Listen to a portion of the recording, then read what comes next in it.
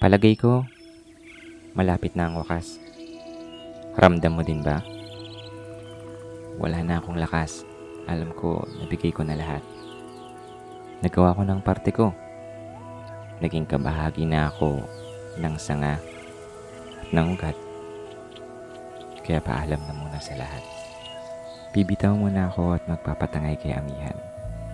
Sasabay sa indak at iindayog sa kawalan. Lilisanin ko na ang aking pinagmulan at tutungo na muna ako sa dapat kong himlayan. Huli na sa akin ng mga araw. Pipilitin na abutin ng ilaw. Mas yayakapin ko ang sinag. Hahayaan ng maligaw. Tatarik kahit tirik. Sa pagtungaw man o huling tanaw. Balutin mo pa din ang init. Abuman o bughaw. Di ako sigurado kung saan ako tutungo. Kung gaano katagal, kung gaano kalayo. Hindi na ako luntian.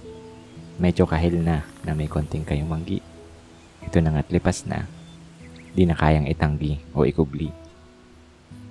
At sa paglapag ko sa huling yugto, di naman titigil ang mundo. Patuloy pa rin iinog ang mga buntala sa sangkarawan. Pero sana ay alalahanin mo na kahit narito na ako sa dulo, ay naging bahagi pa rin ako ng kalawakang naging buhay mo.